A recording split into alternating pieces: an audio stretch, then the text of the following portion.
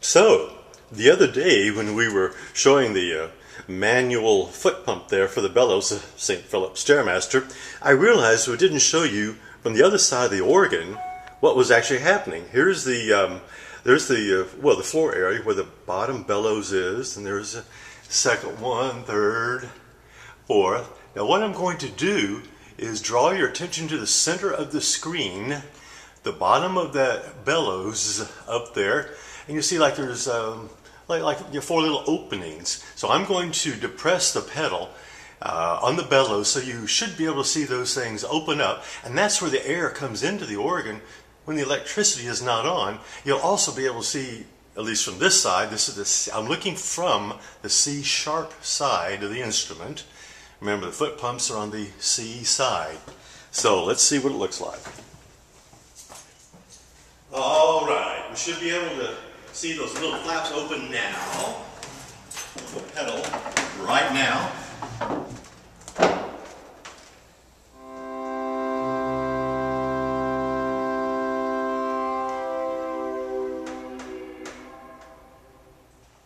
So, you know we're all manual. No electricity except to my little desk lamp here. So you can see. Yeah, you saw how you know, when she runs out of air, eh, she runs out of air. Sounds like a train traveling away in the distance. So that should complete the bellows. You had explained to me, and I, I didn't understand it, the um, wind stabilizer. Oh, that's Should a separate attachment. Or, or Eric was telling me, I, it, I just didn't. Those are little concussion bellows located throughout the organ that you can activate. Yeah, so I'll this is start. the stop action for the. This is the stop action for the stabilizer. Where's? Oh, you're What getting ready to show me. I'm is sorry. that it sends air into this tube, and that Oh. activates the stabilizers. So now we need to go to the other side through here. Can you fit through there? Yes, sir.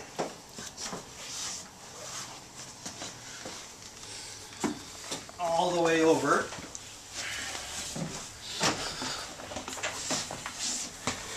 And up here, we have, Maybe I better come through yeah, and just above here. here. Okay. Got it. So here's the stabilizer. So Eric will turn it on. You can see on this side the, uh, the valve. Basically turns it on and off. And this is a spring-loaded concussion bellows, and it has a low mass.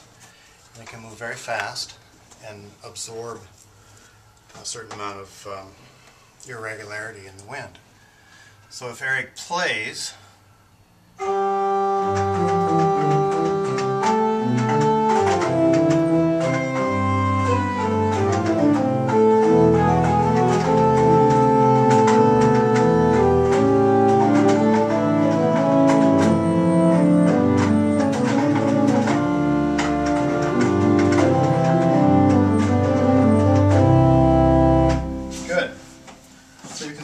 how it responds. Wait, it was shaking a little bit. Or The uh, Huh? vari- variations in the demand of the wind, it responds very fast to.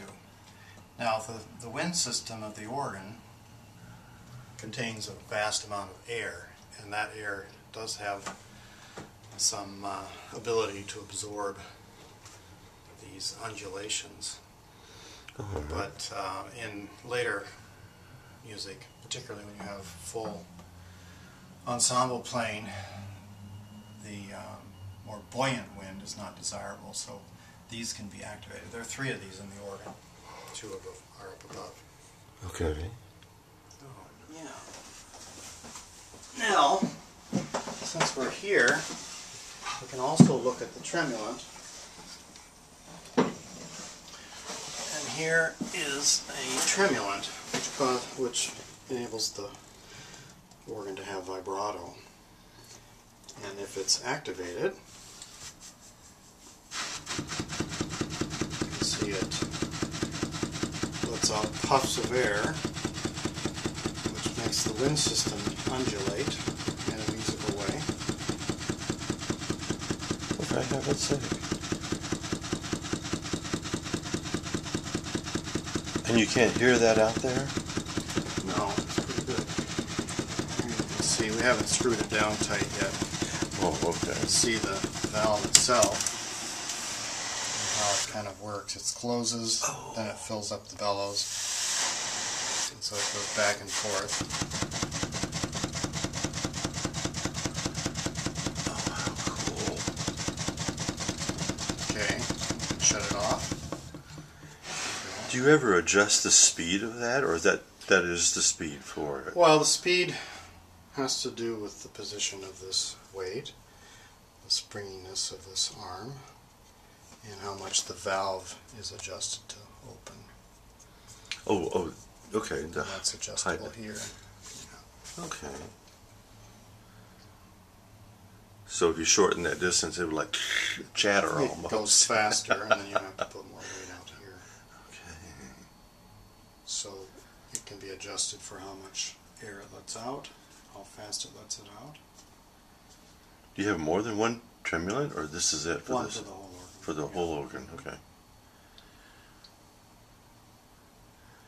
And so its air goes. Goes right up into the main trunk here of the positive. Okay, goes right there. It goes. Okay.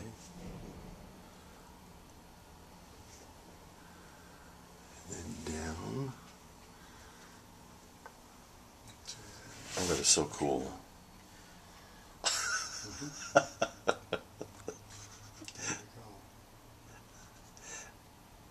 And that's what three or four hundred years worth of. That's what they look like, Pretty probably three hundred. yeah. Yeah, but it works.